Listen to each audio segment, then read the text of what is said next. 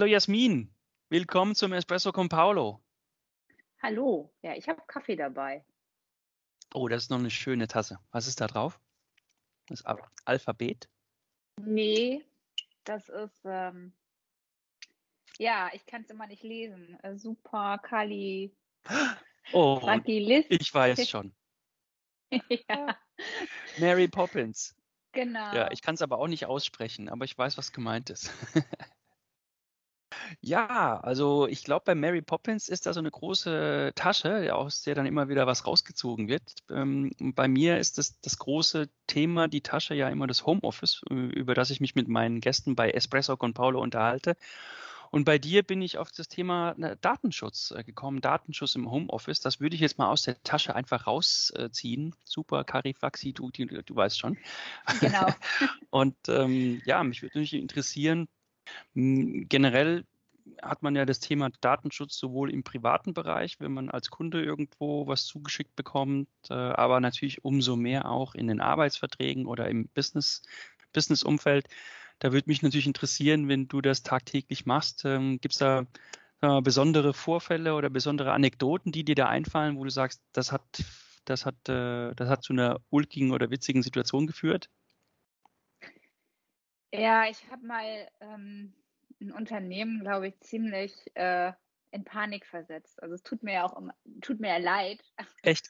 Aber ja, ja. Die, ähm, die haben mich immer eingeladen zu irgendwie, zu irgendwelchen Messen. Und mhm.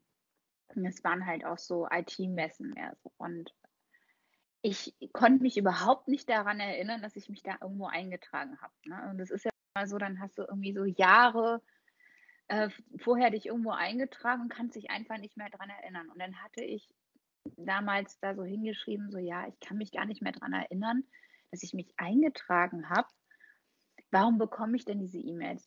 Weil geografisch, das war so Bayern und ich bin ja mehr im Norden Deutschlands. Ne? Und mhm. da habe ich so gedacht, das ist jetzt, liegt jetzt nicht so auf der Hand. Und ähm, ich habe das damals noch so mit, äh, ja, viele Grüße, Jasmin Liefering und dann stand da unten immer noch so Datenschutzbeauftragte. Uh. das war so, das war so irgendwie 2018 auch und ähm, das hat die so getriggert. Ich habe da ähm, dann die E-Mail vom, äh, vom Geschäftsführer gekriegt und ähm, der meinte so, ja, wir haben Ihre Daten gelöscht. Ähm, es tut uns leid, dass wir Ihnen das äh, zugeschickt haben. Und ich sage, das war jetzt gar nicht irgendwie notwendig. So. Ähm, ich wollte es einfach nur mal wissen. Mhm. Aber auf die eigentliche Frage habe ich äh, trotzdem keine Antwort bekommen. Aber ähm, da habe ich so gedacht, wow, als Datenschutzbeauftragter nimmst du mal besser raus. Wie, wie muss ich mir so ein, so ein, so ein typisches, äh, einen typischen Kunden oder eine typische Organisation vorstellen, mit denen du zusammenarbeitest, als wahrscheinlich meistens als externe Datenschutzbeauftragte oder in welcher Form arbeitet ihr dazu?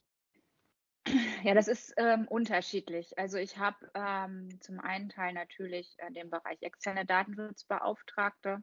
Das ist meistens ähm, bei Unternehmen, also die sind alle stark digitalisiert. So, mhm. das ist schon mal der, der Grundstock. Ich habe zum Beispiel wenig, also gar keine Industrie. Mhm. Ähm, E-Commerce habe ich auch relativ wenig. Ähm, und ähm, was so bei mir so hängen bleibt, das ist so ähm, die ganzen SAS-Anbieter, so was Tools angeht, ähm, Plattformen, das äh, Werbeagenturen, ähm, dieses Jahr ganz stark mit Online-Messen mhm. Ähm, durchgestartet. Also die haben praktisch das, was sie vorher offline gemacht haben, jetzt online gebracht. Was, was ist da so ein Tipp, wo du sagst, wenn man da, äh, wenn man da aufpasst, dann ist man schon auf einem guten Weg? Ja, generell, also was, was ich jetzt dieses Jahr äh, viel erlebt habe, ist, ähm, wenn Unternehmen ähm, erstmal klein starten und dann ähm, läuft der, der Datenschutz so nebenher. Ja, das ist so, das läuft so nebenher, das entwickelt sich praktisch mit.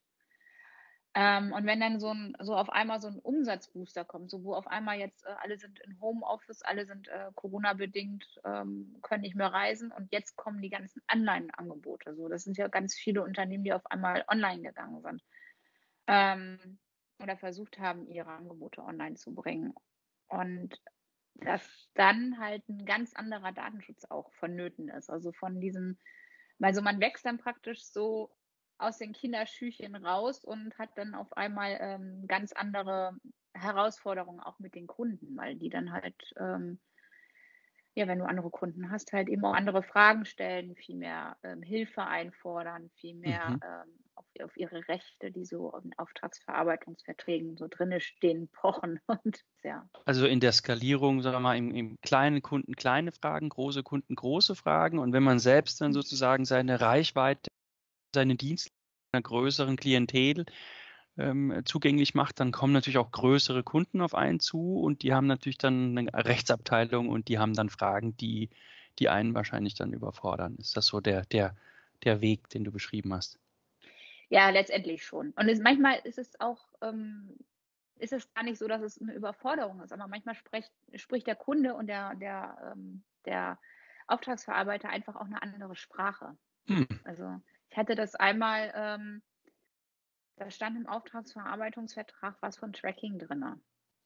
Und der Kunde meinte, es würde sich um Online-Tracking jetzt auf Webseiten und sowas handeln. Mhm. Dabei war aber eigentlich eine, eine Geolokalisierung gemeint. So. Ah. Und ähm, das war, also da haben wir lange ähm, ähm, reden müssen, bis das äh, verstanden worden ist, dass das hier jetzt nicht das Trekking ist, aber was er meinte, sondern etwas anderes ist. Und ja. das ist äh, manchmal ähm, sind das so, so Kleinigkeiten. Ne? Das ist so, manchmal, das ist so, äh, die Kleinigkeiten können halt äh, manchmal großen Schluck auf verursachen. Dann würde ich an der Stelle mich erstmal schon mal bedanken. Mein Espresso ist ja immer sehr wenig Flüssigkeit. Ja. Ich, äh, ich danke dir. Ich, ich glaube, wenn es äh, in den nächsten Wochen und Monaten nochmal Fragen gibt, dann äh, werde ich dich, äh, werde ich dich, werde ich nochmal auf dich zurückkommen und äh, bedanke mich erstmal für die Zeit und für die Auskünfte heute und wünsche dir schon mal ein schönes Wochenende. Danke dir. Ja, danke dir auch.